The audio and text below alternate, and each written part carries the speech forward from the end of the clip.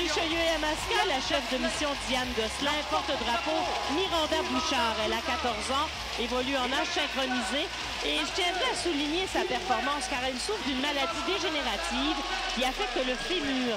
C'était une athlète au préalable en gymnastique. Elle a changé de sport. Elle a dû subir de multiples interventions et elle est maintenant extrêmement habile dans son nouveau sport, la nage synchronisée. Alors bravo pour sa détermination. Elle a été sélectionnée en solo et en duo. La délégation de Richelieu-Damasca comprend 226 athlètes et accompagnateurs à la finale de 2015, dont 116 au premier bloc. Les meilleures performances à l'hiver 2013, il faudra les surveiller donc en haltérophilie, où ils étaient premiers, deuxième en trampoline, troisième en tennis de table. Ils ont également remporté l'esprit sportif en trampoline, en hockey masculin, en judo, en hockey en karaté.